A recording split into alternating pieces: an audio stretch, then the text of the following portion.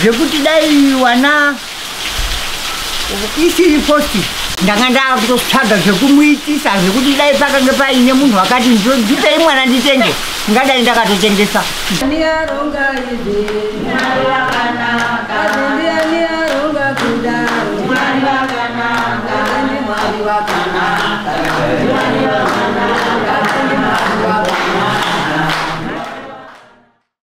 FOST is a registered private voluntary organization which solicits and facilitates support for orphans and vulnerable children in farm communities in Zimbabwe. FOST supports the most vulnerable community that has been left out on the mainstream of government developmental activities. In Zimbabwe, kinship care is more prevalent, with grannies most above 60 having to raise their grandchildren after their own children would have died.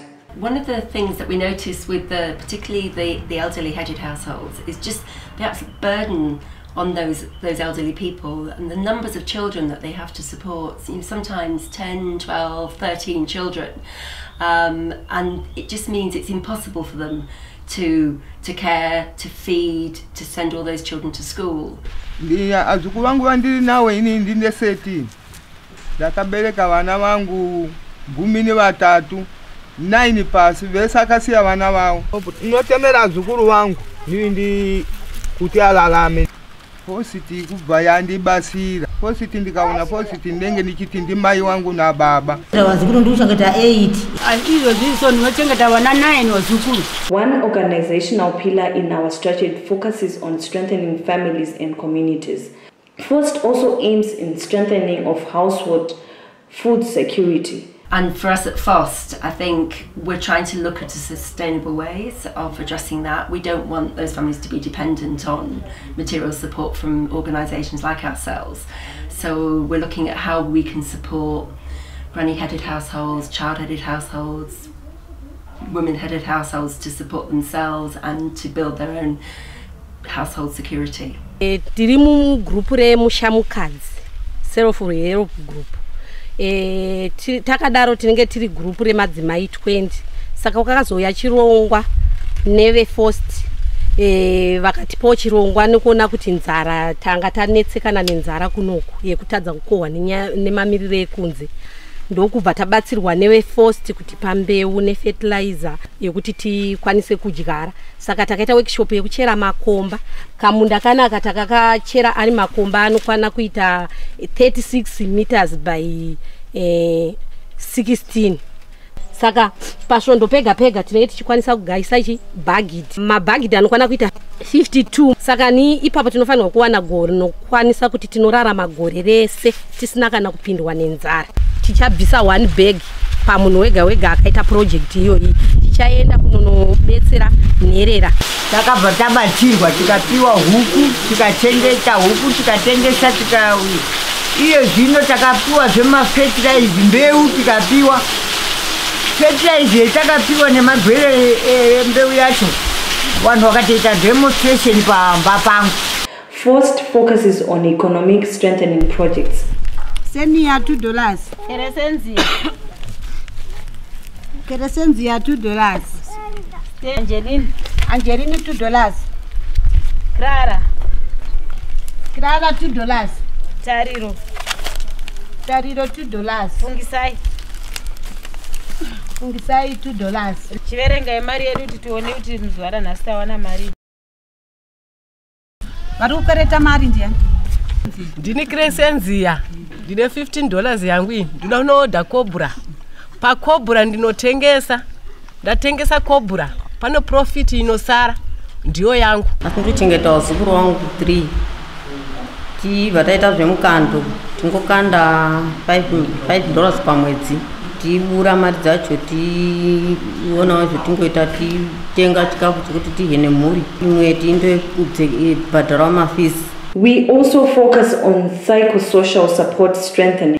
In many instances, we, we usually forget the, the person who is taking care of the other person.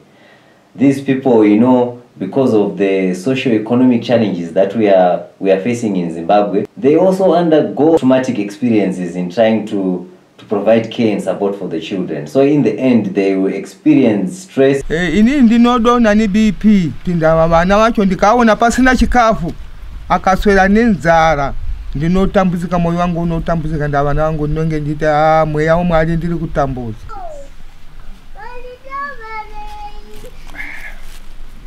poja inondibatsira kuti moyo wangu ugare pasi ndione kuchengeta mhuri yandakasiyirwa iyi pakadziyoniwo mai wacho akabva andoenda korohwa kumwe ubva andokwidza wana bhazi twana tokuzoona twasvika twega paumba zvino ndindonato ndiri kuchengeta inowana four anondochengeta The other project uh, that we are also doing is uh, providing psychosocial support for the caregivers. In other terms, some they call it taking care of the care.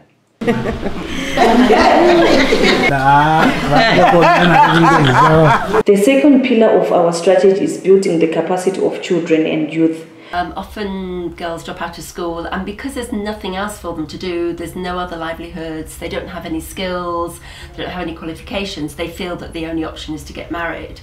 And so we see a lot of early marriages in farming communities. But we have shown in the past with programs where we've been able to give those young people an opportunity to do vo- vocational skills, but also to learn a little bit more about life and develop life skills, which has enabled them to sort of delay the marriage, delay having their children. vanoziva kuzvichengetedza mufananidzo tine mumwe musikana anonzi victoria mukukumira muzukuru wambuya usman. Akasiya chikoro muna 2006 asi takagara naye akazoita mwana muna 2013 chakaita kuti ndizvibate ndanga ndiri leader wemufost ndichiita maklabhu nevamwe tichiita zvebhora tichidzidzisana mune zvakawanda kuzvibata nezvehiv ndo zvakaita kuti ndizosvikawo pakunonoka kuita mwana zvekuti ngadai ndakatoita mwana kare kare. Estasi handikaporijere kokowaripi vamwe vari kuita ne15 chaivo kana 14 years. The third pillar is on child protection. FOST advocates for children's rights that are enshrined in the United Nations Convention on the Rights of Children. Are supporting children with education assistance, although funding in this area is dwindling in Zimbabwe.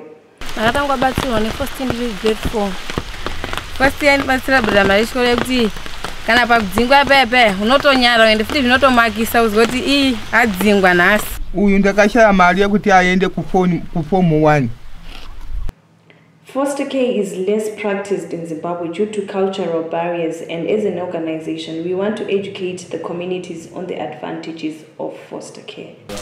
isusu tangati nyika yechikomba ino. Hatisati tamboona mwana kana akaiswa pasango wechimutora uchichengeta.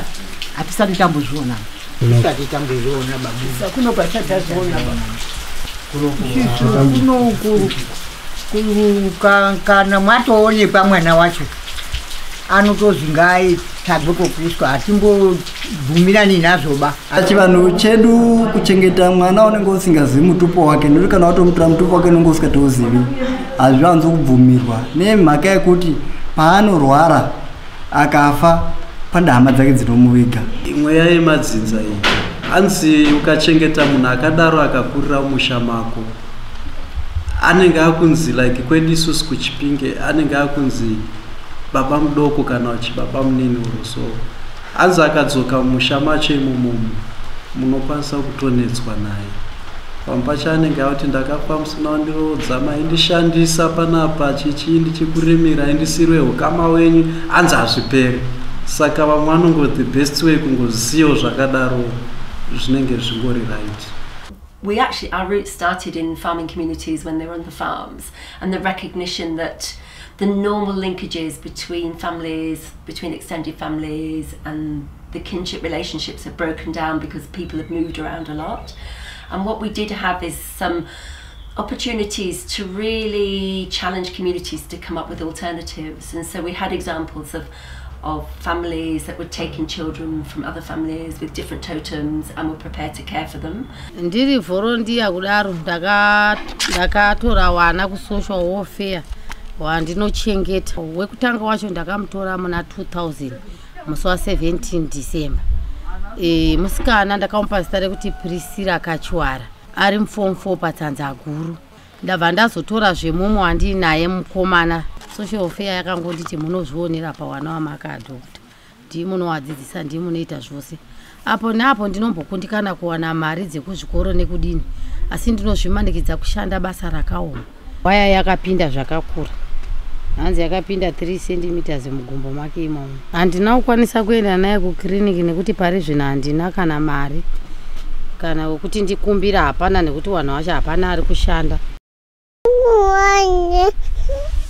Papurazi pane ndiyo richo tikutaura mazuva anofanika izvizvi takagara. The farming communities, um, like many rural communities in Zimbabwe, are, are living in poverty, um, more so for them than ma- many communities because they don't have their own land, so they don't have the means to support themselves in the way that maybe other rural communities do. As an organization, uh, this is our 20th anniversary working with the farming communities. Given the, the necessary support, FOST is the best organization that can actually Eh, build the capacity of the farming communities to be able to respond to the needs of orphaned and vulnerable children within the farming communities. The quality of mercy is not strange. It droppeth as the gentleman from heaven upon the place beneath. Twice blessed. Blessed him that gives and him that takes. Therefore, women and men, remember this, that in the case of justice, none of us should see salvation. We do pray for mercy. In that same prayer, God teach us to remember the deeds of mercy. tinokutenda ichaizvo weposi ngekuti hapana dai zvisizvo Ah, pamwe izvozvi pamwe ndakatofa pamwe ngebp ngekuti mwana ndinoita sei Hare Rama, Rama